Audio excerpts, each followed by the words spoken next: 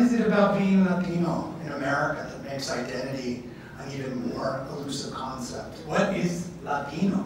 And who is Latino enough? When I was 24, I, uh, I came up with an idea to launch the first ever book imprint for Latinos in New York. I was one of maybe three Latinos in book publishing back then, and I aimed to change that. I persisted was given the green light by the only female CEO in the biz at the time. We had a, we had a marvelous run. We published hundreds and hundreds of books that probably would not have otherwise seen the light of day, again, which I'm proud of.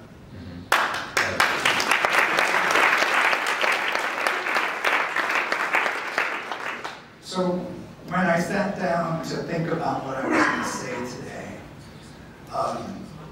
those days in the trenches really popped into my mind. Every day, it seemed like there was a new assault on what I considered to be real uh, Latino identity. Not the base identity that media thought us to be, but the real one. Every day I, I was asked, why is that a Latino book? Now, I, I set out to publish books by Latino authors of all genres, which was a level of complexity that the marketing and sales folks didn't always understand.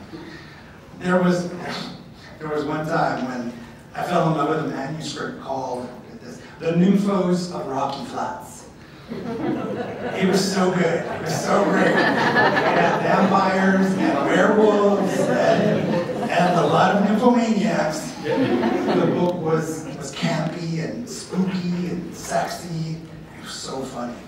And aside from being written by a Latino and having a main protagonist that was Latino, the book really didn't have anything at all to do with the then marketing and sales understanding of what a Latino book needs to be.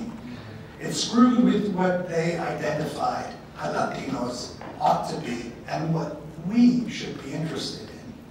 I had a really hard time getting that book to the system. When I did, it was a hit. I, uh, I, published a sequel, um, X-rated Bloodsuckers. Um,